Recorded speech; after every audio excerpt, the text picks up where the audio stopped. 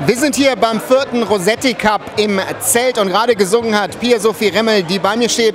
Wie ist es für dich hier im Zelt zu singen? Es macht auf jeden Fall total viel Spaß. Die Leute sind auch super drauf und ich freue mich einfach. Es ist eine super Zeit. Und äh, wie ist es für dich, in deiner Heimatstadt in Remscheid zu singen? Also es ist natürlich nochmal was ganz anderes, als wenn man jetzt im Wuppertal oder so ist. Also äh, die Leute sind total lieb und es macht einfach total viel Spaß, mit den Remscheidern zu rocken. Und äh, wir hatten ja das Vergnügen, mit dir letztes Jahr zu sprechen. Da hast du ja draußen bei dem ganz schlecht schlechten Wetter gesungen.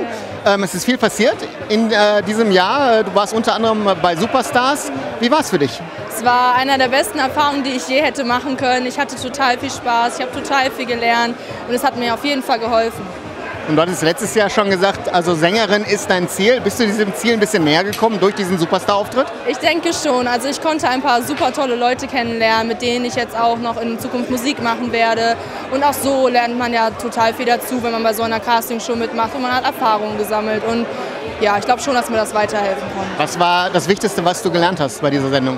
Ich glaube, dass man nie aufgeben sollte, auch wenn man dann mal einen Rückschlag irgendwie einstecken äh, muss dass man dann trotzdem sagt, okay, ich mache weiter und das ist mein Ding und ich lasse mich nicht unterkriegen und ich will das und ich schaffe das auch.